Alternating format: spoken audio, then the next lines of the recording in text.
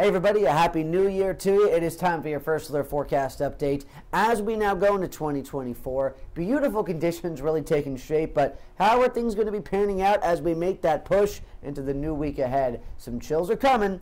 Not necessarily today, but uh, temps can really make a big tumble back. I want to focus on that first and foremost. So, First full month here of winter. After all, it is January. And now, as we look onward into this day and the rest of this week, let's see how things are dipping back. For the most part, a lot of average lows this morning in particular were in the upper 30s. But look at this forward now. We're getting be getting into the 20s, dipping back, making that tumble. Tuesday, Wednesday, even into Friday, 20s again. It is going to be a week filled with a lot of cold mornings. I want to make sure you are prepared for that appropriately have the coats all on the ready again, the hats, the gloves, and of course, be protecting your pets out there. Please bring them in.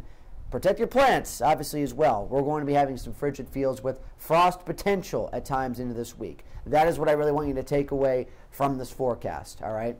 Now, as we go forward, Let's recap today. Happy New Year once more for this Monday. It is beautiful, upper 50s. Great day to be out and about. Great travel outlook. But those mornings and the chills are coming fast. Only getting to some lower and mid 50s for Tuesday and Wednesday afternoon, and that's even with a great deal of sunshine anticipated for tomorrow. So you know that air is going to be dry. You know it's going to be cold. Going into your first alert 10 day forecast here, we are looking great to ring in this new year. A lot of sun tomorrow, but still a much colder day, especially again with those morning starts. As we go on, I want to make a point Wednesday evening and night. We're looking to see a weak system bring us some scattered showers. Wednesday night for the most part, and that really dries up right into very early Thursday morning. Might be done by the time we even hit sunrise there. That's why I only got that 20% chance. And then we don't see anything in terms of an organized rain potential until we likely have a large area of low pressure to start out the weekend. As we go throughout this week, of course, we'll keep you posted on that.